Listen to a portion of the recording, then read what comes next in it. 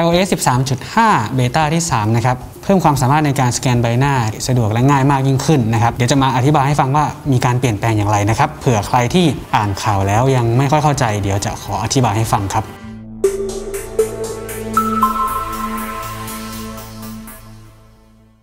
30 เมษายน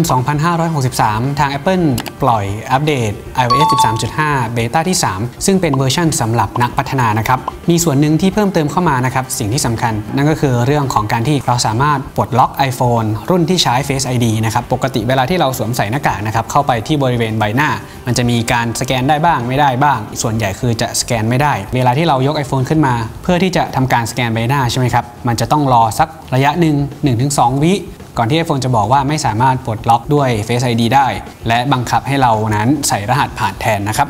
ซึ่งมันจะมีช่วงเวลาหนึ่งที่หน่วงๆนะฮะ เพราะว่าจะทำการเช็คใบหน้าก่อนนะครับ ถ้าเช็คไม่ผ่านแล้วถึงจะให้กรอกรหัส แต่ว่าใน iOS 13.5 เบต้าที่ 3 ล่าสุดนี้นะครับ iPhone จะสามารถรู้ได้เลยว่าเราสวมหน้ากาก ทับใบหน้าอยู่หรือเปล่า หรือว่ามีวัตถุอะไรมาบดบังใบหน้าอยู่ไหม หลังจากนั้นคือ iPhone จะแสดงหน้าต่างของการใส่รหัสผ่านได้เลยค่อนข้างที่จะรวดเร็วนะครับ เดี๋ยวผมจะทดสอบความแตกต่างให้ชมกันนะครับ ระหว่าง iOS ก่อนหน้านั้นใช้ iPhone 11 ติดตั้ง iOS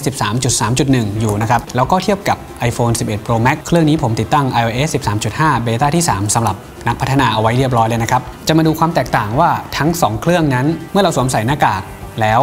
ทำการปลดด้วย Face ID นั้นจะเป็นอย่างไรนะครับ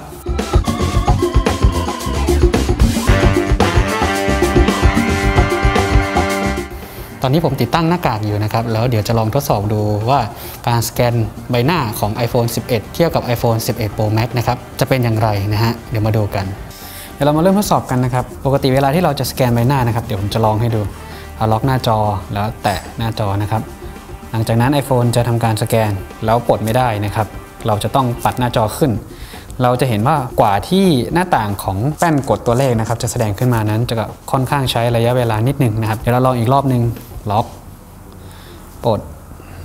1 2อะกว่าหน้าต่างนี้จะขึ้นมาก็จะสักประมาณ 2 วินะครับ เดี๋ยวเราลองทดสอบเทียบกับ iPhone 11 Pro Max ที่ติดตั้ง iOS 13.5เบต้าที่ 3 ล่าสุดดูนะครับ ผมจะลองล็อกหน้าจอ และหลังจากนั้นจะลองปลดนะครับ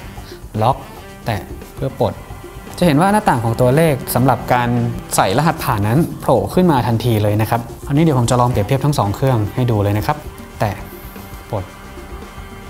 ไหมครับว่าความต่างนั้นจะเห็นค่อนข้างชัดเจน อันนี้นะครับก็คือความแตกต่างที่เราเห็นได้ชัดเจนนะครับเมื่อเปรียบเทียบระหว่าง iOS 13.5 beta ที่ 3 ล่าสุดนะครับกับ iOS 13.1 หรือว่า iOS 13.4 รุ่นล่าสุดณตอนนี้ที่ยังไม่สามารถใช้ฟีเจอร์นี้ได้ ฟีเจอร์นี้จะปล่อยให้ใช้งานใน iOS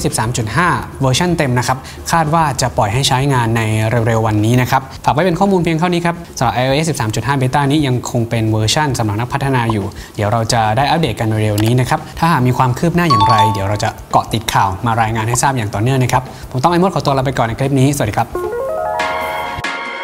Let's go.